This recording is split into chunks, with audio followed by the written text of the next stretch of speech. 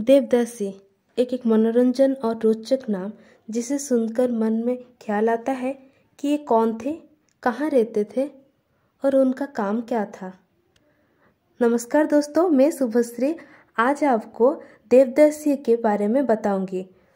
एक रोचक नाम जिससे भारत की मंदिर के द्वारा ही आकर्षण पैदा किया जाता था। आइए जानते हैं। देवदासी का मतलब एक लड़की को भगवान को दान कर देना। मतलब कि भगवान के नाम से मंदिर को दान कर देना। छः शताब्दी में लगभग यह प्रथा प्रारंभ हुआ था। यह एक ऐसी प्रथा था जिसमें एक कम उम्र की लड़की को भगवान और देवता के साथ विवाह किया जाता था। विवाह के बाद वो लड़के मंदिर का देखभाल और सारे पूजा उपासना, नियम के अंदर नृत्य, संगीत प्रदर्शन करती थी।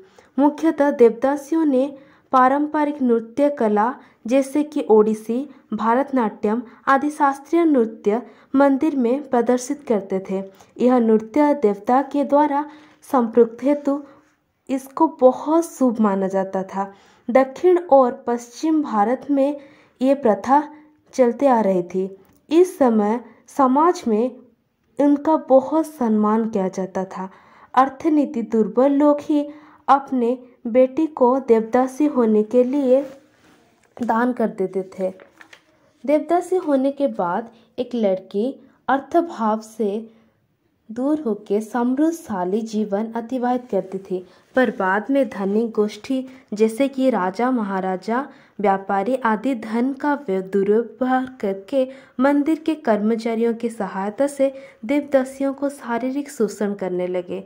धीरे धीरे देवदासियों अत्याचारित होने लगे। मुगल और ब्रिटिश लोग आने के बाद मंदिर की हालत खराब होने के साथ साथ देवदासियों की स्थिति भी खराब होने लगी। मुख्यतः अंधविश्वास के कारण से ही सबको धर्म मानकर भगवान नाम के से अत्याचार किया जा रहा था। भारत के सर्वोच्च न्यायालय के द्वारा नियम बनाकर इस प्रथा को बंद कर दिया गया है। फिर भी भारत के कुछ जगह में आज भी यह प्रथा चली आ रही है। दुख जीवन होने के बाद भी देवदासियों ने अपना शास्त्रीय नृत्य और संगीत कला को उज्जीवित करके रखा था। मंदिर का मुख्य आकर्षण ही देवदासियों थे। राज्य के राजनीति अर्थात गुप्तचर संस्था में राजा महाराजा उनको नियोजित करते थे। यह था देवदासियों के वास्तव जीवन शैली धन्यवाद।